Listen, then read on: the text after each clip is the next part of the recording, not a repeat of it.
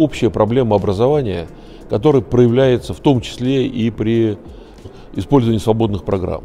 Э, это на самом деле э, недостаток высококвалифицированных кадров, это то, что есть разрыв между преподавателями и, людьми, которые занимаются реальными информационными технологиями. Да, э, фирмы приходят в образовательные учреждения, да, реальные разработчики преподают, э, но этого недостаточно, этого мало, э, и это проблема.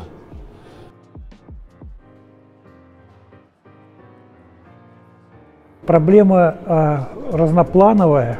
Я бы выделил, наверное, два или три аспекта, которые реально могут повлиять.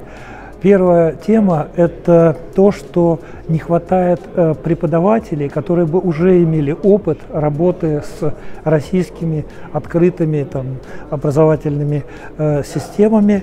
И э, в том числе, например, если мы будем говорить, это операционные среды Linux годами, десятилетиями везде шли подготовка их в Microsoft Windows, и это, конечно, влияет, потому что люди уже сложно переучиваются, поэтому вендор я считаю, может и должен организовывать некие программы э, подготовки, переподготовки, ознакомления с операционными системами.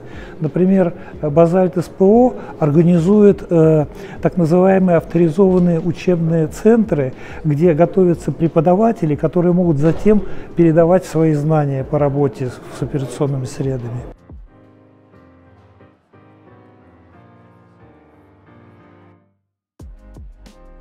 В принципе, преподаватель должен давать э, детям хотя бы две как бы, альтернативных вещи. То есть показывать, что мир не сосредоточен, например, только на одной операционной системе Windows. И если так посмотреть, на самом деле у нас доминируют три операционных системы. Все знают, что у нас есть macOS, есть OS X так называемая, есть э, Windows и есть э, Linux различные версии, которые доминируют на настольных компьютерах. И дети это, по крайней мере, должны знать. Почему? Потому что при своей работе будущих, мы же учим будущих специалистов, они столкнутся с чем-то либо из этого. Ученики, они очень быстро перестраиваются. Не надо думать, что Linux и Windows это два разных мира. А, и здесь скорее вопрос в том, чтобы сделать максимально комфортным и эффективным переход именно для педагога.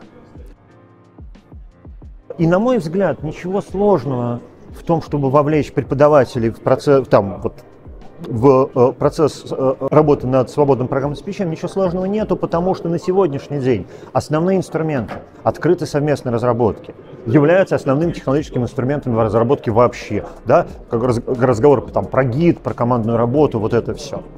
Я очень надеюсь, что современное информационное общество с его абсолютной информационной связанностью в конце концов стянет в себя таких людей, которые будут делать не бумажные книжки, да, а именно ресурсы, ресурсы такие образовательно-информационные.